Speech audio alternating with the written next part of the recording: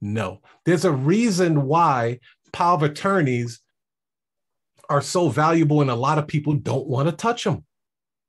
You think Chase Bank is going to pull one of their employees to appear on your behalf at court because your heroin addict cousin wants to contest the power of attorney being done? No, don't care about you.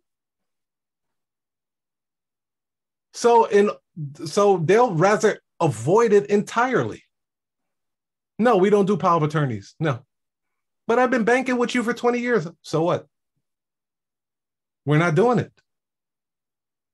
That's how powerful your position is.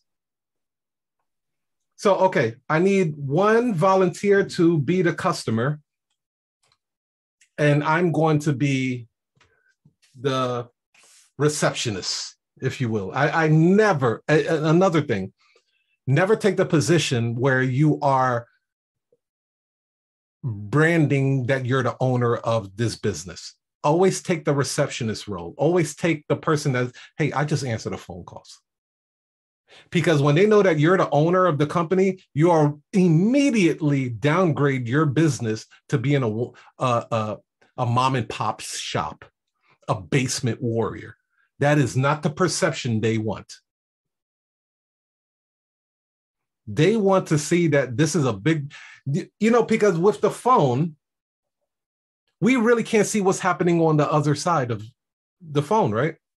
So therefore, their imagination is running wild. They may think that you're at the top of the Empire State Building. You, you blocked out the whole floor. You have notaries ripping and running everywhere. You're a nationwide outfit. But the moment that you let them know that I'm the owner of the company, I'm running the appointments, I'm running all of